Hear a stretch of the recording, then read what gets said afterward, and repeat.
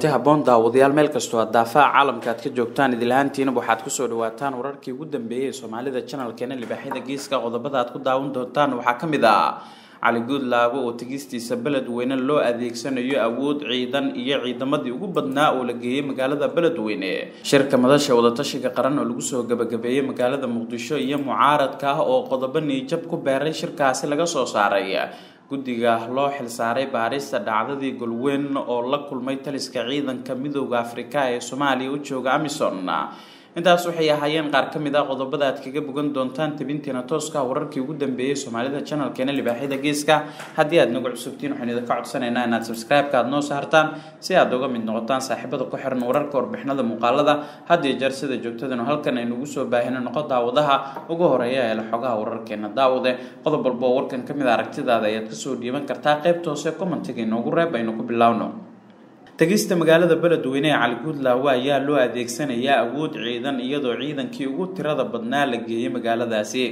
ila wareedi kala duwan oo ku sugan muqdisho iyo beledweyne ayaa u xaqiijiyey libaaxyada geeska. In dowladda federaalk soomaaliya ay qorsheynayso in madaxweynaha maamulka hirshabelle awood ciidan lagu geeyo magaalada beledweyne ee xarunta gobolka hiiraan xogta aynu helna ayaa tilmaamaysa in madaxweyne cali guudlaawe diyaarad helikabtar ah lagu geen doono beledweyne taasi oo ka dejin doonta xerada ciidamada cirka ah ee lamagalaay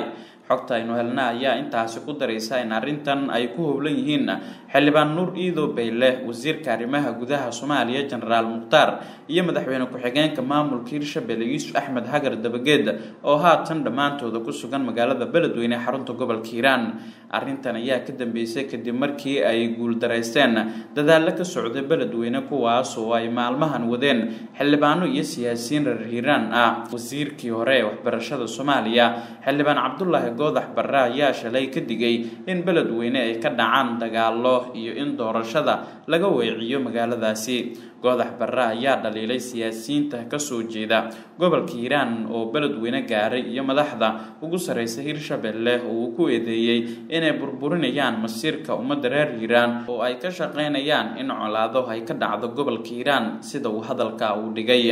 ciidan fara badan ayaa la geeyey magaalada beledweyne ee xarunta gobolka hiiraan kuwaasoo diyaarado gaar ah looga daadgureeyey muqdisho iyo jowhar. Waxaana la sheegay in ciidankaas goobo fariisin ay ka samaysteen gudaha magaalada beledweyne ee xarunta gobolka hiiraan. Toddobaadkan ayaa qorshe u yahay in cali guudlaawe iyo xubno kale oo ka mid ah maamulka hirshabelle ay gaaraan magaalada beledweyne ee xarunta gobolka hiiraan. Cali guudlaawe ayaa si weyn u daneynaya inuu gaaro magaaladaas inta aysan bilaaban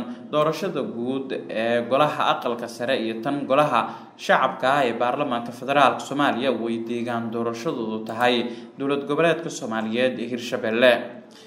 qodobo ayaa laga soo saaray shirka golaha wadatashiga qaran ee muqdisho uga socday madaxda maamul goboleedyada dalka. Shirka golaha wadatashiga qaran ee ka socday muqdisho labadii maalmood ee ugu dambeysay ayaa maanta la soo gabagabeeyey waxaana laga soo saaray warmurtiyeeda qodobada waxaa ka mid ahaa oo lagu xusay dhismaha guddiga amni ee doorashooyinka uu ra'iisul wasaare rooble guddoomiye u yahay. Sidoo kalena ah ay ku jiraan taliyaasha booliiska federaalka iyo sidoo kale dowlad goboleedyada dalka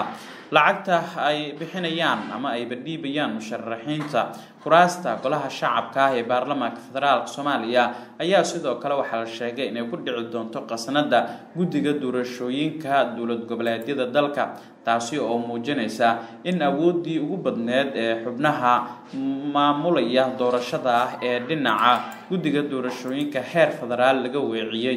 liiska musharaxiinta aqalka sare ee somalilan waxaa lagu qeexay qoraalkan ama warmurtiyeedkan inay si wadajira u soo xulayaan ra'iisul wasaare ku-xigeenka dalka mahdi maxamed guuleed qadar guddoomiyaha golaha aqalka sare ee dalka cabdi xaashi cabdilaahi iyadoona la caddeeyey inuu hubin doono ra'iisul wasaaraha xukuumadda federaalk soomaaliya mudane maxamed xuseen rooble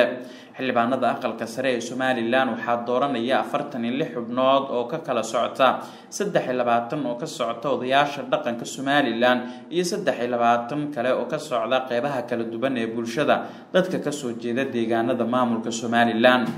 ergada doorashada ayaa lagu qeexay warmurtiyeedkan inay soo xuli doonaan odayaasha dhaqanka iyo ururada bulshada rayidka.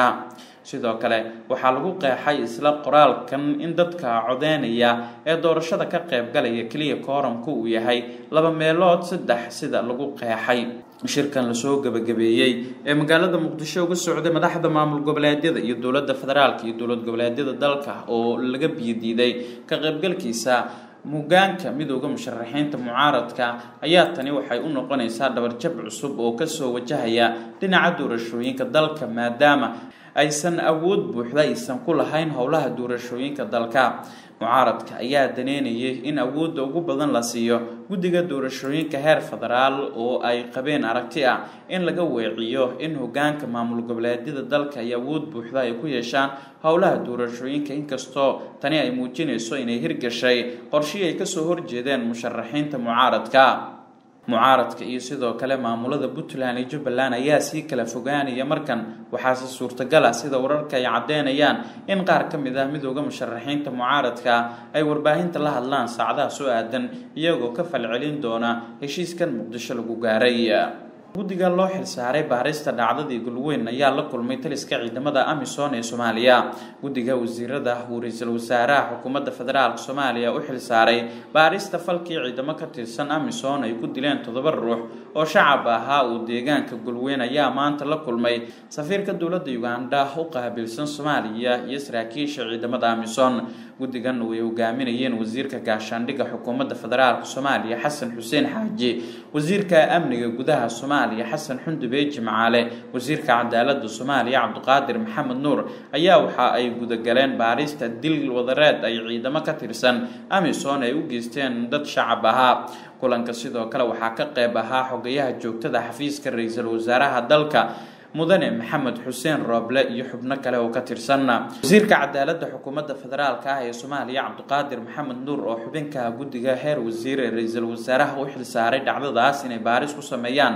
ayaa kulanka kadib waxa uu warbaahinta uu kula hadlay. Magaalada muqdisho waxa uuna sheegay inay dhiseen guddi farsamo oo ka shaqeyn doona sidii dadka ay waxyeeladu soo gaartay xuquuqdooda ay u heli lahaayeen. Wasiirka cadaaladda ayaa carabka ku adkeeyey inay dejin doonaan istaraatiijiyad cusub oo lagu xakameyn doono dhaqdhaqaaqa amisom iyo in aanay mar dambe dhib soo gaarin shacabka soomaaliyeed. Ciidamo ka tirsan kuwa howlgalka midooda afrika ee amisom gaar ahaan kuwa ka soo jeeda uganda. Ee nabad ilaalinta u jooga soomaaliya ayaa waxay tobankii bishan aynu ku guda jirno agosto. Deegaanka golweyn ee gobolka shabeellada hoose ay ku dileen ilaa iyo toddoba ruux oo shacab ahaa waxaana ehelada dadkaas ay dowladda federaalka ka codsadeen in cadaaladda la hor keeno askartii ka dambeysay dhacdadaas foosha xumeed iyadoo ra-iisul wasaare rooble arrintan uu soo farageliyey guddina uu u xilsaaray saaxiibada qiimaha badan wararkii ugu dambeeyey soomaalida janalkeena libaaxyada geeska aad ka daawanayseen waa inaga intaa waad ku mahadsantihiin daawashada warkan midkiisa xiga intaynu dib u kulmi doonno akhyaarta qiimaha ee qadarinta inaga mudan oo sidaas iyo nabadgelyo